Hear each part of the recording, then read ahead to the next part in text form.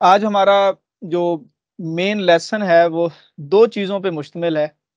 एक तो हमने बुनियादी तौर पे ज्योग्राफी को देखना है कि ज्योग्राफी जब हमने पढ़ना है तो इसमें हम, हमें कौन सी चीज़ों का आइडिया होना चाहिए, कौन सी चीज़ें ज़रूरी हैं, और कौन से बेसिक कॉन्सेप्ट्स को क्लियर करना ज़रूरी है, और ज्योग्राफी हमने पढ़ना क्यों ज़रूरी, हमारे लिए क्यों ज़रूरी है।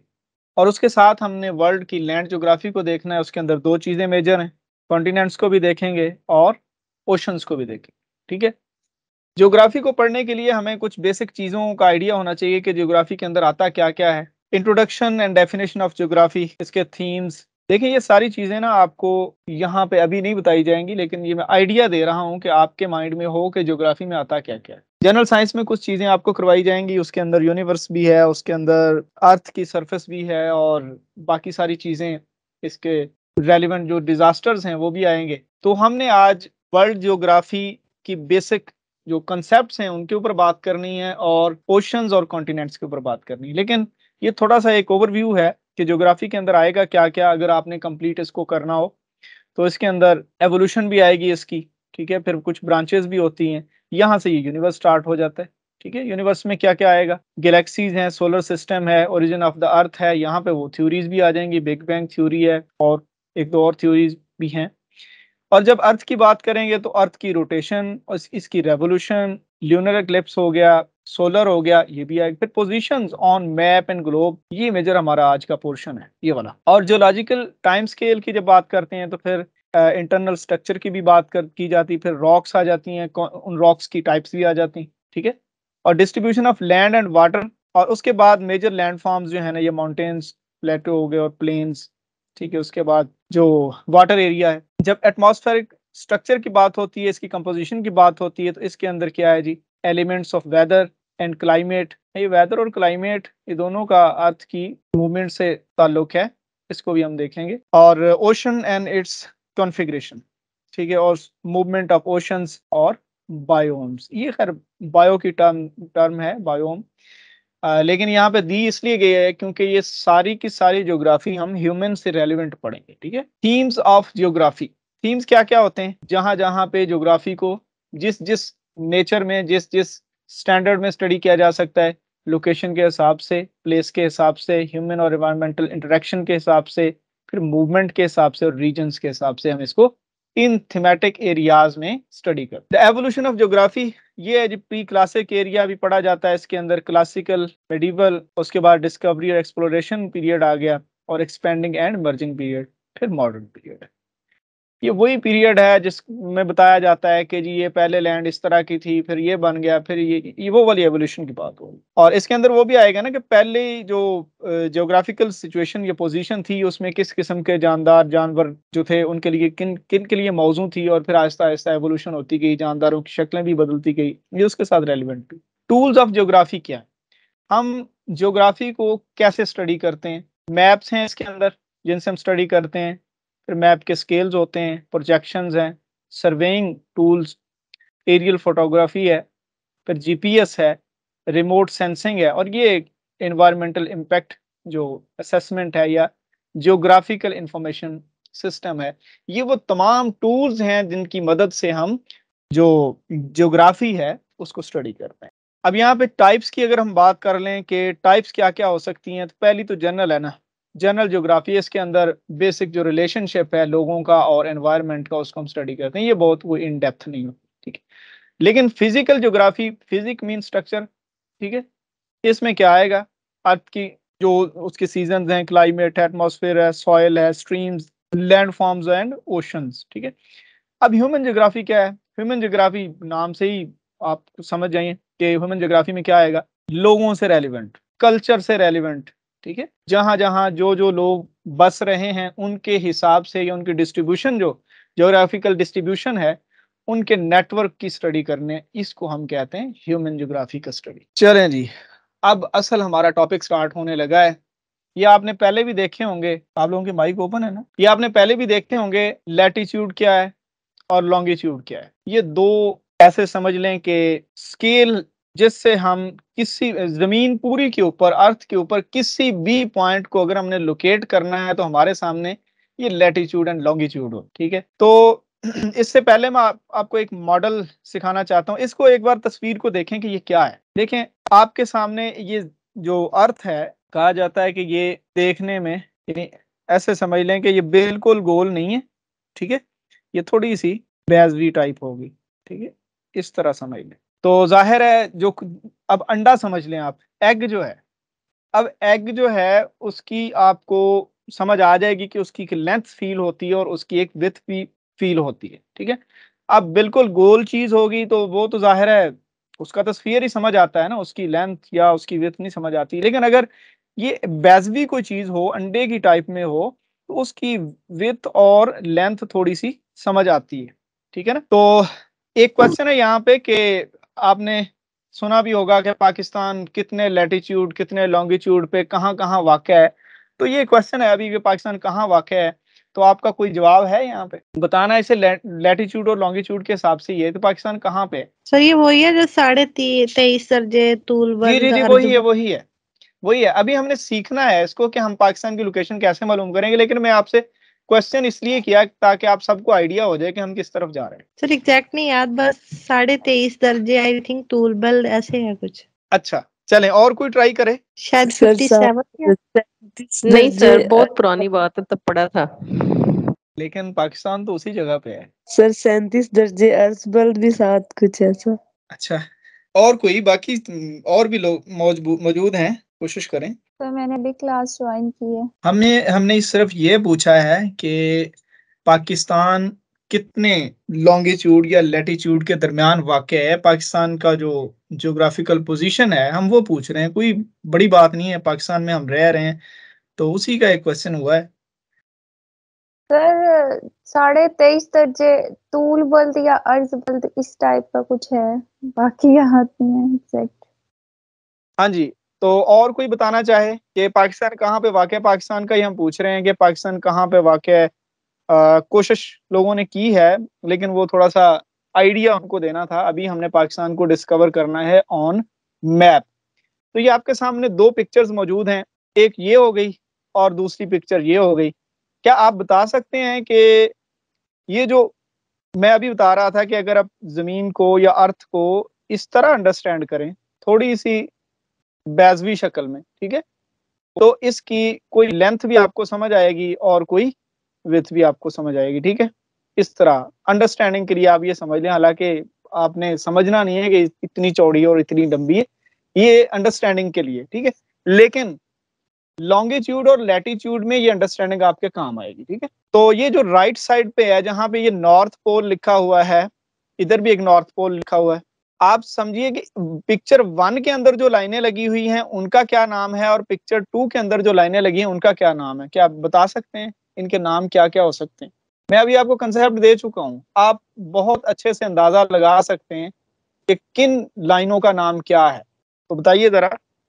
सर वन वाली लॉन्गिट्यूड है। बिल्कुल ठीक है। और टू वाली? और वो लैटिट्यूड लैटिट्यूड है। बिल्कुल ठीक है। अच्छा अब यहाँ से एक और चीज़ आपने समझनी है कि लॉन्गिट्यूड की स्ट्रेंथ या नंबर कितना है और लैटिट्यूड का कितना है। जरा बताइए बताइए शाबाश लॉन्गिट्यूड की का नंबर कितना है और लैटिट्यूड का कितना सर, है? 360 अच्छा 360 क्या है? यहाँ इधर लिख दूँ 360 इसको आप लॉन्गिट्यूड कह रहे हैं ना? मैं 360 लिख दिया। और किसी का कोई जवाब? सर 90 आएगा। किसका 90 इसका लैटिट्यूड का 90 आएगा? चलें जी मैं 90 लिख देता हूँ। और किसी का कोई आंसर शाबाश बताइए आपके जवाब से हमने एक बात को अखज करना है और उसके बाद हम इंशाल्लाह पाकिस्तान को मैप के ऊपर डिस्कवर करेंगे। अच्छा किसी ने कहा जी 180 लो जी हम 180 लिख देते हैं। नहीं सर 200 240 है शायद।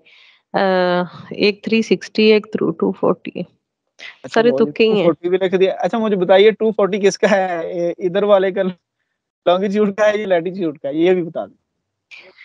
सर वो जो जिसको तूल बल्द बोलते हैं ना वो 360 था। और जो अर्ज़ बल्द है वो 240 है। अब वो ना ये इंग्लिश की नहीं पढ़ी इंग्लिश में हमने ना। तो आइडिया नहीं हो रहा।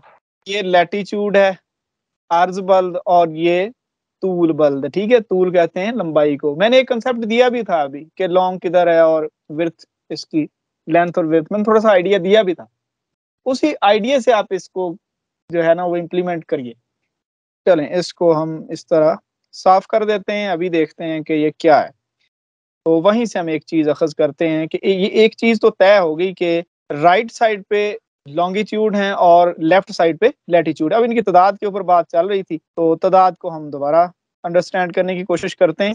लेटीट्यूड एंड लॉन्गिट्यूड यहाँ पे अब तादाद भी लिखी हुई है। ठीक है, मैंने वो पिक्चर खाली इसलिए डाली थी ताकि आइडिया हो सके कि आपको तादाद का कितना का आइडिया है। आप लोगों ने मैथ के अंदर एक्स वाई पढ़ा है? आपने ज़ाहिर है छठी, सातवीं क्लास का एक, जो, जिसको हम कोऑर्डिनेट्स कहते हैं।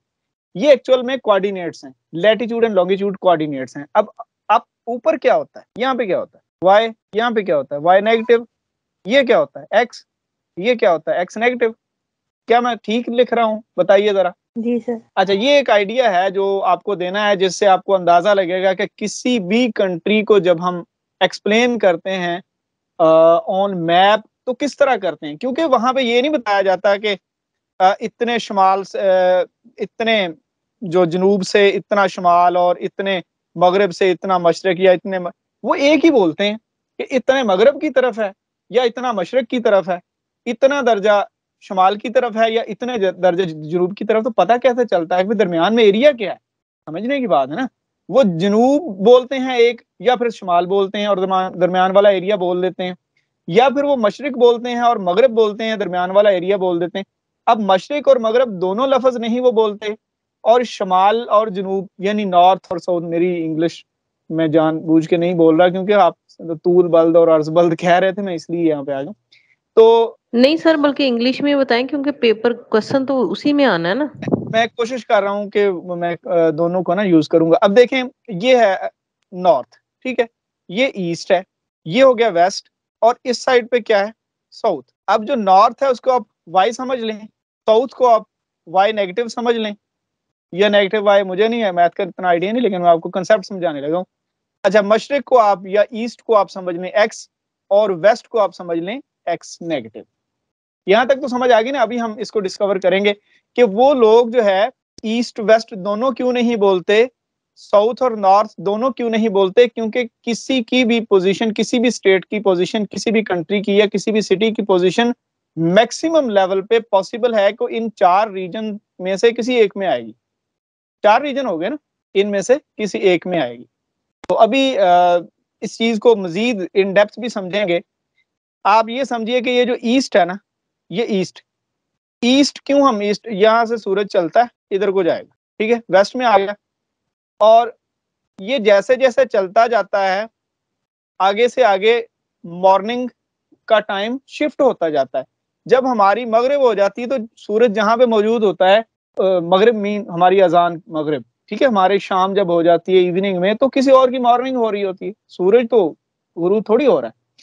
ये तो इस तरह समझे कि ज़मीन घूम रही है और हमें महसूस हो रहा है कि सूरज या सन की जो लाइट है, वो हमारी अर्थ के साइडों पे घूम रही है। क्योंकि ज़मीन हमारी अर्थ मूव कर रही है। और यहाँ 90 तक आ गए। 90 तक आने के बाद क्या हुआ? इधर दोबारा क्या 90 फिर आ गया। तो ये कितने हो गए?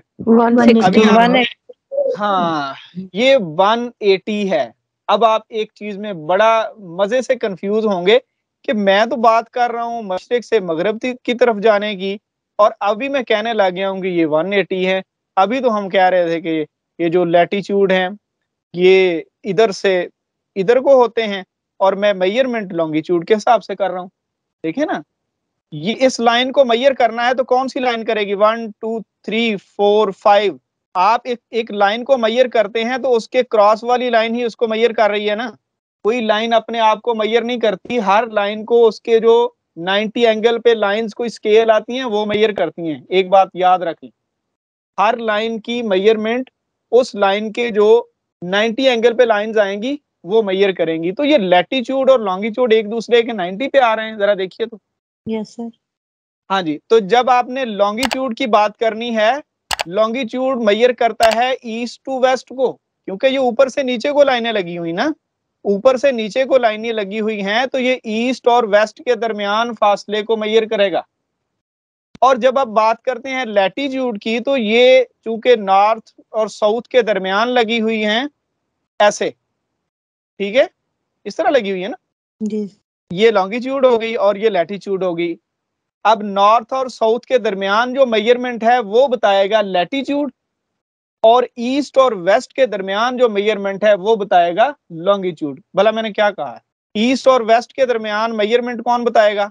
लॉन्गिट्यूड और नॉर्थ एंड साउथ के दरमियान मेज़रमेंट कौन बताएगा? लैटिट्यूड सही है ना? ये दोनों चीज़ें एक दूसरे के अपोजिट हैं। हमेशा ये कंफ्यूजन रहता है कि जब हम नॉर्थ और साउथ की बात कर रहे हैं तो नॉर्थ और साउथ के दरमियान जो मेज़रमेंट है, वो लॉन्गिट्यूड देगा।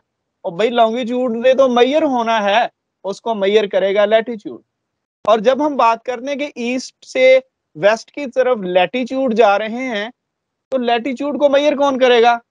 जो उसके अपोजिट जा रहा है लॉन्गिट्यूड ये दोनों एक दूसरे को मैयर कर रहे हैं। ये कंसेप्ट समझ आ गई है? तो आगे चलें। मेरा एक क्वेश्चन है कि साउथ से नॉर्थ आपने जाना है तो मेज़रमेंट कौन सा लैटिट्यूड आप एग्जैक्ट अपने राइट एंगल पे जाना है। कौन सा कोऑर्डिनेट लैटिट्यूड बताएगा? अब आपने चले सन को देख लें। सन जा रहा है मशरक से मगरब की तरफ़। तो कौन सा कोऑर्डिनेट उसको गाइड कर रहा है? चलिए समझ लें। उसकी पोजीशन को कौन गाइड कर रहा है? लॉन्गिट्यूड वाला। ये बहुत बड़ी कंफ्यूजन है और बहुत बारे बहुत बार इनके क्वेश्चन भी लोगों के गलत होते हैं क्योंकि आइडिया ये होता है कि मशरक से मगरब ईस्ट से साउथ की ईस्ट से वेस्ट की तरफ़ जो है ना, लाइनें लगी हुई हैं लैटिट्यूड की। तो ये तो पूरी ज़मीन पे लगी हुई है ना तो मेज़रमेंट इनकी करेगा लॉन्गिट्यूड और सेम जब लॉन्गिट्यूड की साइड को हम चलेंगे तो उनको लैटिट्यूड लॉन्गिट्यूड की साइड मीन उसकी लाइन के पैरेलल चलेंगे तो हमारी मेज़रमेंट करेगा करेगा लैटिट्यूड चले, ये मजीद एक क्लैरिटी है। ये हो गया ईस्ट आपका, ठीक है? हमने ज़मीन, इस अर्थ को क्रॉस सेक्शन में ले लिया यहाँ से चलते चलते आपका सन यहाँ पे वापस आता है। ये है जी आपका जापान, ठीक है? जापान से हमारे कॉन्टिनेंट के अंदर सन एंटर होता है। तो इसीलिए उसको राइजिंग सन लैंड भी कहा जाता है। ये हमने उसका लॉन्गिट्यूड का क्रॉस देख लिया, ठीक है? तो ये क्या है? ऊपर भी 90 है, नीचे भी 90 है, दरमियान में क्या है? इक्वेटर ज़ीरो अब देखिए ना, ये 90 और इधर भी 90 है। दरमियान में ज़ीरो। इसी तरह ये ज़ीरो है और इधर चलते चलते 180 आ गया और फिर इधर से चलते चलते भी 180 आ गया इसलिए ये 360 है और ये 180 है। आ, ये दरमियान में थोड़ी सी डिस्क्रिप्शन लिखी हुई भी है। स्क्रीनशॉट ले लें या फिर रिकॉर्डिंग आपके पास आ जाएगी। ये यही लिखा हुआ है कि नेगेटिव 90 और पॉजिटिव 90 और नेगेटिव 180 और पॉजिटिव 180 और एक्स और वाई कोऑर्डिनेट्स भी उसने इस, उसी तरह लिखे हुए जिस तरह अभी मैंने बात की है। ये मजीद एक क्लैरिटी है यहाँ पे कि अगर ये ज़ीरो है और इधर से ये ज़ीरो है, यहाँ से समझ लें कि ये नॉर्थ है आपका, ये ईस्ट की साइड है, ये वेस्ट की है, ये साउथ की। सेम उसी तरह, एक, दो, तीन, ये जो लगी हुई ना लाइनें, इस तरह। ये वाली लाइनें, ये लॉन्गिट्यूड हैं और ये 180 इधर को हैं और 180 इधर को हैं। तो ये कितनी हो गई? उसी तरह ये 90 इधर को लगी हुई है और 90 ही ऊपर को है। ये हो गई लैटिट्यूड अभी हम पाकिस्तान को डिस्कवर करने लगे अच्छा यहाँ पे थोड़ा सा अंदाज़ा लगाइए कि पाकिस्तान कहाँ पे है। ये ये आ रहा है इक्वेटर। ये इक्वेटर है ना। पाकिस्तान कहाँ पे चले, ये अगर इंडिया समझा जाता है तो तकरीबन थोड़ा सा नीचे लग गया निशान। पाकिस्तान को आइडिया लगाते हैं कि पाकिस्तान कहाँ पे सर बर आज़म एशिया के जनूब में है ना पाकिस्तान? साउथ एशिया में ना? तो ये इंडिया है और ये अगर आप कहें तो तकरीबन पाकिस्तान का ये एरिया है ठीक है? अब देखिए कि पाकिस्तान कहाँ पे है। अब आप पाकिस्तान को अंदाज़ा लगाएँगे कि कहाँ पे है तो फिर ज़्यादा समझ आएगी। अब देखिए, यहाँ से नॉर्थ की तरफ़ है, ईस्ट की तरफ़ है, वेस्ट की तरफ़ है, साउथ की तरफ़ है, किधर है? जरा बताइए। कोऑर्डिनेट वन में आता है, टू में आता है, थ्री में आता है हमारे लिए दोनों पॉजिटिव कब होंगे? जब अप होगा और हम राइट पे जाएँगे। ये ओरिजिन है ना? ओरिजिन से राइट को पॉजिटिव होता है और ऊपर को पॉजिटिव होता है। नीचे को भी नेगेटिव होता है और लेफ़्ट को भी नेगेटिव होता है। तो हमारे लिए दोनों कोऑर्डिनेट्स पॉजिटिव आएँगे और हम कहाँ पे हैं? नॉर्थ की तरफ़ हैं ओरिजिन से और किस तरफ़ हैं? ईस्ट की तरफ़। इसीलिए हमारे कोऑर्डिनेट्स में मगरब का लफज नहीं आएगा हमारे कोऑर्डिनेट्स में जुनूब का लफज या साउथ का लफज नहीं आएगा। अब बात समझ गए ना कि एक ही वर्ड बोला जाता है कि ईस्ट की तरफ़ है या वेस्ट की तरफ़ है नॉर्थ की तरफ़ है या साउथ की तरफ़ है तो अंडरस्टैंडिंग क्या है इसके अंदर? ये है अंडरस्टैंडिंग तो ये ओरिजिन समझ आ गई यहाँ तक? अब आगे एग्जैक्टली exactly हम पाकिस्तान को मुझे स्क्रीन नहीं शो हो रही। बाकी लोगों को शो हो रही है? जी सर चलें। आप ऐसे करिए क्लास को लीव करके एक बार दोबारा ज्वाइन कीजिए तो इनशाला आपको स्क्रीन नज़र आ जाएगी। सर वो पिछला पॉइंट नहीं क्लियर हुआ उसका। कौन सा? ये सर ओरिजिन ये है? वाला तो हो गया पाकिस्तान मशरक में है मतलब ईस्ट बिल्कुल ईस्ट में आएगा और नॉर्थ की तरफ़ आएगा। सर फिर वो जुनूब वाली क्या बात है? वो तो ज़ाहिर है अगर कोई कंट्री इस तरह होगा साउथ अफ्रीका है ये यहाँ से अफ्रीका से कोई और कंट्री है ये वाले हैं ये नॉर्थ ये साउथ की तरफ़ आएँगे ना ठीक है? हमारा तो ओरिजिन से किस तरफ़ है? ऊपर है देखे ना ये है पाकिस्तान ये है ओरिजिन ज़ीरो यही आता है ना ज़ीरो लैटिट्यूड का और लॉन्गिट्यूड का ज़ीरो यही आता है हमने ये मैप के ऊपर डिस्कवर किया ना तो यहाँ से इस साइड को पॉजिटिव आएगा y और पॉजिटिव आएगा x तो इसका मतलब ये है कि हम नॉर्थ की तरफ़ भी हैं और ईस्ट की तरफ़ भी हैं। हमारे लिए साउथ का वर्ड और वेस्ट का वर्ड यूज़ नहीं होता। ठीक है ना? तो चलें आगे क्या है? अब ये पाकिस्तान को डिस्कवर करने की बात आ गई। ये देखिए ये कितना लिखा हुआ है। ये वहाँ से एक टुकड़ा तोड़ा हुआ ना जो यहाँ पीछे था। ये चलते चलते पाकिस्तान को यहाँ अंदाज़ा हम लगा रहे थे। ये तीस से थोड़ा सा नीचे हमने स्टार्ट किया था कि चौबीस होगा और फिर यहाँ ये तकरीबन सेवेंटी फाइव तक। ये अंदाज़ा ही लगाया था हमने एग्जैक्टली तो हमें नहीं ना पता था ये, क्योंकि मैप बहुत बड़ा है। तो उसी को हम यहाँ पे एक्सप्लोर करते हैं, ये चौबीस से स्टार्ट कर लिए। और कहाँ तक है? इधर को आइए जरा। छत्तीस ये नज़र आ रहा है। चले अंदाज़ा लगा लें जी, सैंतीस तक होगा। नीचे से ऊपर ये ये वाली सारी लाइन चौबीस से सैंतीस क्या है? नॉर्थ। ठीक है ना? चौबीस से सैंतीस नॉर्थ क्या अब आप बताइए मैं लैटिट्यूड लिखूं या लॉन्गिट्यूड लिखूं? बताइए जरा। हमें अभी बता बताया मैंने अभी अभी चार मिनट पहले की बात है। देखा ना? भाई जब हमने नॉर्थ या साउथ के दरमियान मैयर करना है तो इन लाइनों ने मैयर करके देना है। इन लाइनों का नाम है लैटिट्यूड लेंगी लैटिट्यूड है. सर अच्छा तो इस, इसका मतलब आप दोनों को कवर करने की कोशिश कर रहे थे? सर घुमा दिया इसने।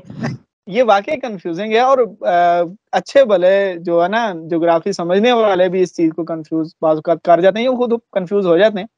अब देखिए अब हम दूसरी तरफ़ ये हमने लॉन्गिट्यूड अभी हमने मैयर करना है। ये तो हो गया नॉर्थ की तरफ़ 24 से 37 दर्जे।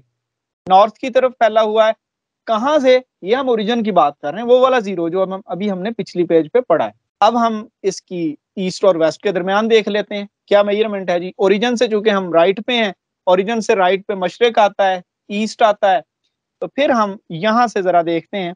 ये है जी, ये 60 होगा तो इसको हम 62 कह दें। अंदाज़ा ही लगाना है ना, वैसे 62 ही है एग्जैक्टली exactly 62 ही है। या 61 और 2 के दरमियान का भी 61 और पॉइंट सेवन भी कहीं पे लिखा हुआ। लेकिन हम यहाँ पे 62 ही इसको पढ़ रहे हैं। तो यहाँ से अब हम इधर को जाएँगे तो कौन सा कोऑर्डिनेट हमें मैयर करके देगा? जरा बताइए। सर लॉन्गिट्यूड लॉन्गिट्यूड मैयर करके देगा क्योंकि इस लाइन को जब आपने मैयर करना तो इसके ऊपर जो राइट एंगल पे पॉइंट्स होंगे वो मैयर करके देंगे ना। तो यहाँ तक हम कहाँ तक आएँगे?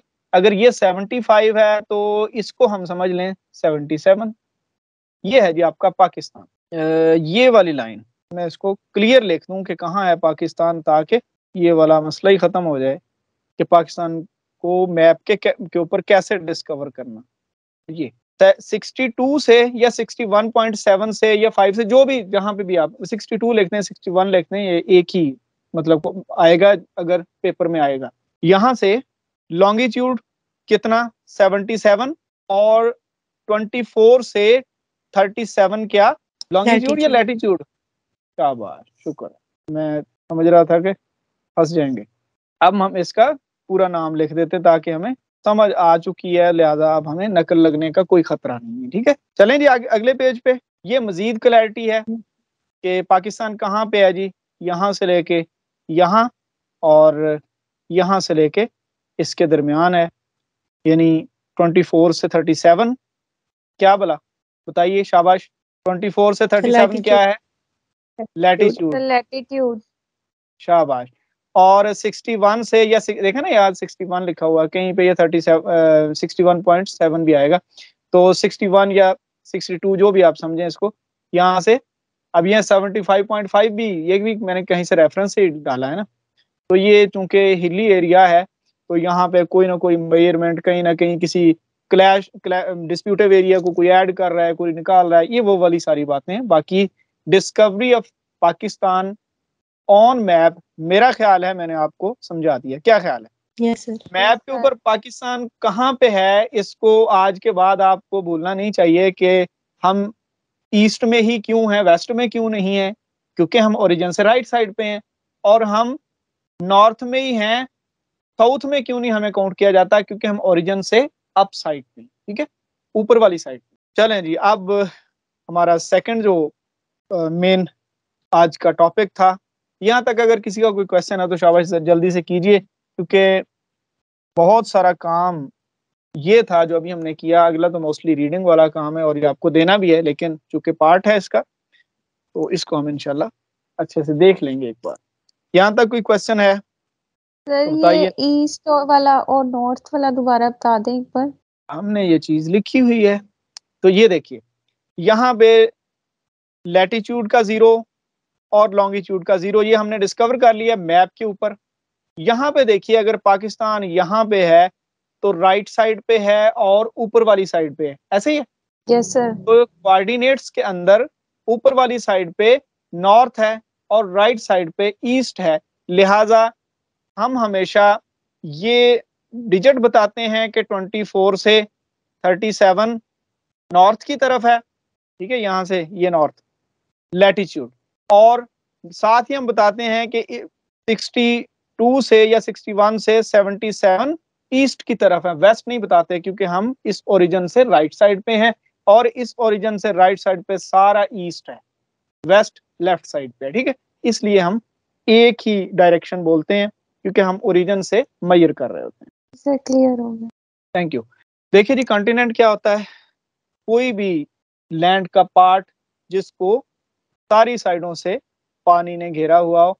अब ये बड़े पार्ट की बात हो रही है छोटे को हम आइलैंड कह देंगे ठीक है और बड़े को हम कॉन्टिनेंट कह देंगे। तो कितने हैं जी टोटल कितने कॉन्टिनेंट अब आपने साथ साथ बोलना है ताकि हमारा टाइम भी बच सके और हम जल्दी से इसको क्लियर कर सकें और कवर कर सकें जो बे, बेसिक कंसेप्ट था मैप का वो मैंने ऑलरेडी आपको कन्वे कर दिया। कितने हैं जी कॉन्टिनेंट शाबाश आपने साथ साथ बोलना है सेवन और यहाँ पे दो तीन चीज़ें और भी हैं कि हमारे जो कॉन्टिनेंट्स हैं इन्होंने only twenty seven twenty nine percent जो है वो कवर किया हुआ है बाकी 71 परसेंट पानी है और पानी फिर भी हमें नहीं मिल रहा है।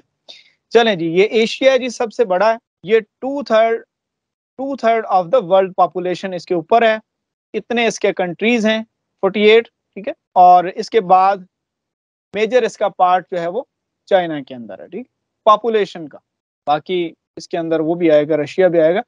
अच्छा इसके अंदर ये क्या है जी? टॉलेस्ट माउंटेन हिमालय के अंदर। कौन सी है वाला? नाम बताइए शाबाश दुनिया की। सर माउंट एवरेस्ट हाँ जी। माउंट एवरेस्ट इसी के अंदर हमालिया के अंदर। हमालिया ही जाता है ये आगे नेपाल की तक तो ये अच्छा डेड सी जो है इसका लोएस्ट पर ये डेड डेड सी कहाँ पे? बहरे मुर्दार जॉर्डन के साथ है ठीक है?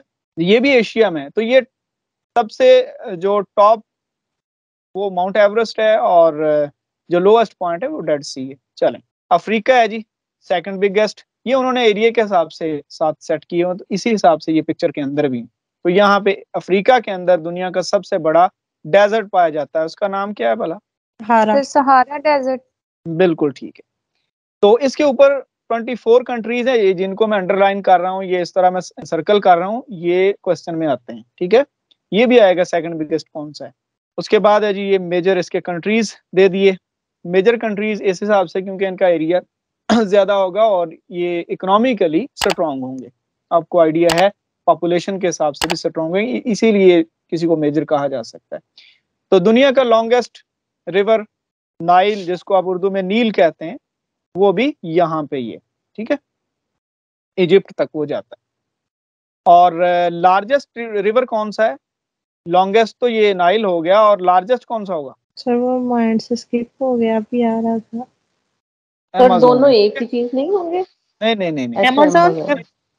ये देखें ये ये ये समझ लें इसको। ये ये अगर किसी चीज़ की लेंथ है जी सिक्सटी सिक्स हंड्रेड किलोमीटर और ये किसी की लेंथ थोड़ी है लेकिन उसका एरिया इस तरह से ज़्यादा है। ये लार्जेस्ट होगा ना।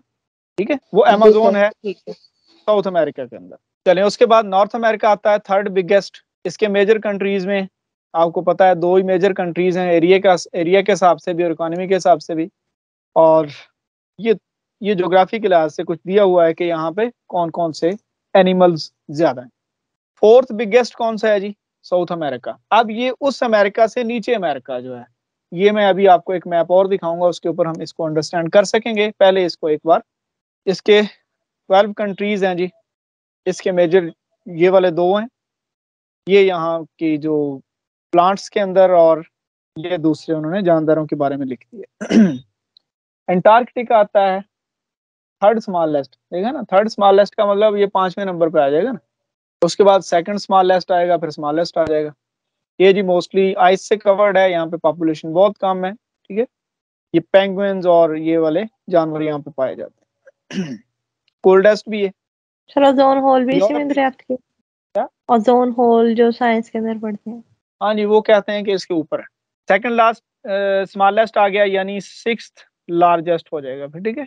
ये कौन सा है? यूरोप है। 44 कंट्रीज़ हैं। इसके मेजर कौन से होंगे जी? ये वाला। ये इकोनॉमी के लिहाज से और जो कंट्रोल के लिहाज से इनको मेजर कहा जाता है। पॉपुलेशन तो किसी और की ज़्यादा हो सकती है लेकिन कंट्रोल और इकोनॉमी के लिहाज से इनको ही मेजर कहा जाता है। एक चीज़ होती है लैंडलॉक कंट्रीज़ वो क्या होता है? मैं बताता हूँ। लैंडलॉक कंट्री ये एक रह गया उसके बाद उसको देख लो। ये जी बता दिया उसने वहाँ पे किस किस्म के ऑर्गेनिजम्स ऑस्ट्रेलिया जी सबसे छोटा। अब देखिए, ये कितनी इंटरेस्टिंग बात है कि ऑस्ट्रेलिया सबसे छोटा है। बंदा समझेगा शायद जहाँ पे पॉपुलेशन नहीं है या यूरोप बहुत छोटा है। यूरोप के बारे में एक और बड़ी बात है कि यहाँ पे डेजर्ट कोई नहीं है, ठीक है? यूरोप में डेजर्ट कोई नहीं। तो Australia ji smallest country in the world तो ये भी क्वेश्चन आएगा। और फिर यहाँ पे अब इसके अंदर कंट्रीज़ कितने जरा बताइए कितने कंट्रीज़ हैं इसके अंदर? ये आपने ना ये आपसे क्वेश्चन है। ऑस्ट्रेलिया के अंदर कितने कंट्रीज़ हैं? ये आपने बताना मुझे? ऑस्ट्रेलिया एक कंट्री है। कंट्री भी है लोगों को सोचने देना। अब हो सकता है सात आठ कंट्री हो इसके ऊपर आप, आप पहले ही बोल पड़े। लोगों को सोचने देना। सर तो कल गया था। अच्छा तो ये है जी आपने लोकेट करना है कि ये कौन सा है? आपको पहले मैं बता दूँ कि लैंड लॉक कंट्री क्या होता है? लैंड लॉक कंट्री होता है ये बिलफर्ज ये एक कंट्री है। इसकी सारी साइडें कवर्ड हैं लैंड से। उसको समुंदर नहीं लगता ओशन सी नहीं लगता। उसको हम लैंड लॉक कहते हैं। ठीक है? यस सर ये क्या है भला? अब आपने साथ साथ बोलना है कि ये कौन से हैं? शाबाश जल्दी से अभी पाँच सात मिनट और हमने लेने और काम भी अभी ओशन हमारे रहते हैं। ये कौन सा कॉन्टिनेंट है? ऑस्ट्रेलिया। चलें ये हमने इस तरह किया हमने ऑस्ट्रेलिया। ये वाला कौन सा है? ये ब्लू वाला? Sir Asia. लो जी ये एशिया कर दिया। ये ग्रीन वाला कौन सा है? बताइए बताइए शाबाश। ये ग्रीन वाला कौन सा है? यूरोप। यूरोप। बिल्कुल यूरोप। ये बिल्कुल यूरोप है। ये हमने यहाँ पे। अच्छा ये ये येलो सा ये क्या है? शाबाश, शाबाश। अफ्रीका। अफ्रीका। और ये जो है पिंक सा जो कलर बनाया हुआ है ये पिंक सॉरी नीचे इसको जो भी आप कहें। अच्छा बताइए। शाबाश शाबाश। सर फिर नॉर्थ अमेरिका ही रह गया वही हो। ये ये हो गया साउथ अमेरिका और ये रह और गया नॉर्थ अमेरिका। कोई और भी रहता है? अंटार्कटिका अंटार्कटिका एंटार्कटिका रहता है। ये इसको हम इस तरह मिला देते हैं ठीक है? तो ये हो गया हमारा इसके एक्सरसाइज वो भी कंप्लीट हो गए। ओशंस ऑफ़ द वर्ल्ड कितने समंदर हैं जी? बताइए कितने ओशन हैं? फाइव और कोई जवाब देना चाहे? कितने शाबाश जल्दी से? सेवन सेवन और कोई जवाब देना चाहे? बढ़ते जा रहे हैं। हम पंद्रह बीस तक तो जाए। टोटल हैं जी फाइव लेकिन ज्योग्राफिकली इनको सेवन में डिवाइड किया जाता है। क्योंकि पैसिफिक और अटलांटिक इतने बड़े हैं कि इनका एक एक हिस्सा साउथ में आता है और एक एक हिस्सा नॉर्थ में आता है। इंडियन है। ये साउदर्न ओशन हो गया और आर्कटिक ये हैं टोटल फाइव लेकिन ज्योग्राफिकली हम इनको सेवन में डिवाइड करते हैं। पैसिफिक है जी सबसे बड़ा।